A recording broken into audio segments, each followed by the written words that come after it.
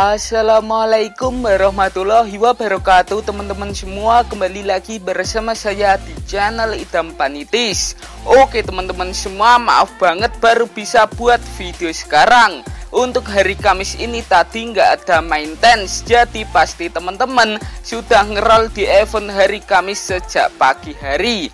Nah coba yang sudah ngerol beritahu saya tulis di komentar kalian dapat siapa saja di event hari Kamis ini dan kalian menghabiskan berapa koin?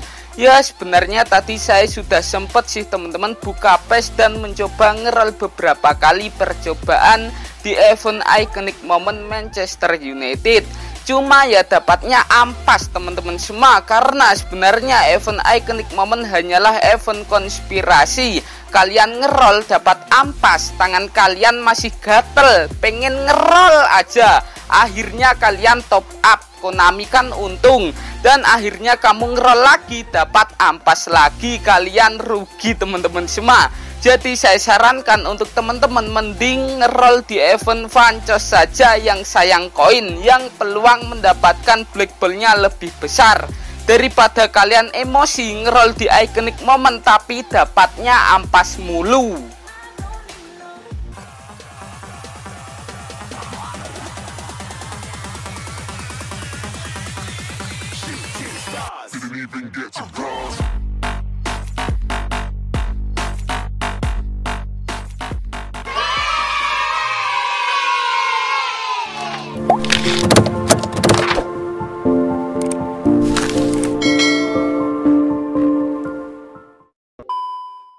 Oke teman-teman semua, saya tidak mau menuruti nafsu yang rasanya pengen ngerol mulu di event iconic moment Daripada nanti emosi sendiri karena dapatnya ampas mulu. Ya tadi sempat lumayan hoki sih teman-teman seperti di awalan video atau pembukaan Dapat dua black ball berturut-turut Memakai trik favorit saya, tap pemain iconic momennya 321 Nah jadi kali ini teman-teman saya mau ngerol dua kali lagi saja di dua akun berbeda. Jadi masing-masing akun ngerol sekali. Masih sama triknya Saya mau memakai tab pemain ikoniknya 321 Kalau kali ini dapat ya Alhamdulillah. Tapi kalau nggak dapat ya sudah nggak apa-apa. Saya pasrah teman-teman. Tapi ya semoga saja dapat. Amin. Please Konami Oke langsung saja teman-teman. Semua seperti biasa di sini juga ada gratisan saya teman-teman. Ini akun yang pertama ya. Oke sebelum ngerol teman-teman semua kita cek dulu tingkat suksesnya. Kalian juga sudah tahu teman-teman Untuk iconic moment ini tingkat suksesnya cuma rendah. Ada tiga pemain iconic sebelumnya David Beckham, Diego Forlan dan juga Park Jisung. Oke kita scroll ke bawah teman-teman semua Untuk melihat tingkat suksesnya. Tuh cuma 20% saja untuk bisa mendapatkan black ball dan juga iconic moment jadi benar-benar dibutuhkan hoki. Oke lah langsung saja teman-teman. Semua akun pertama ya ini ya.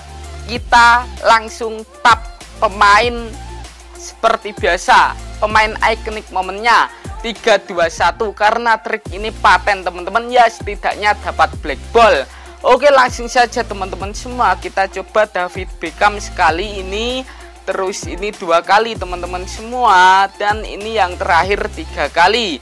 Nah setelah itu di Furlan dua kali ini sekali teman-teman dan ini dua kali. Dan yang terakhir teman-teman semua yaitu Park Jisung sekali. Nah setelah itu langsung saja kita roll. Apakah trik ini masih paten teman-teman semua? Nah kan tidak iconic moment tapi setidaknya Black Ball please Konami tentu saja Liga Inggris. Nah kan teman-teman semua Black Ball. Oke kali ini saya mendapatkan Marcus Rashford. Oke langsung saja teman-teman semua kita berpindah ke akun selanjutnya atau akun kedua. Oke teman-teman semua langsung saja kita tap David Beckham. Teman-teman ini sudah dua kali ini tiga kali teman-teman. Terus di Furlan dua kali ini sekali ini dua kali teman-teman semua dan yang terakhir Park Jisung sekali saja. Nah setelah itu langsung saja kita roll. Semoga saja dapat please Konami ya Allah please Konami Alhamdulillah.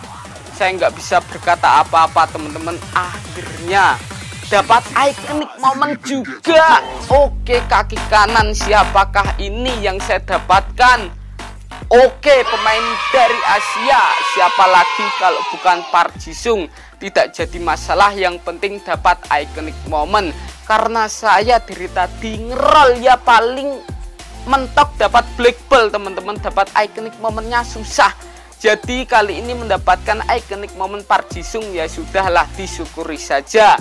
Oke, di sini usianya 30 tahun, Park Jisung tingginya 175 cm. Untuk kaki utamanya kaki kanan dan jenis kartunya tentu saja momen unik teman-teman semua.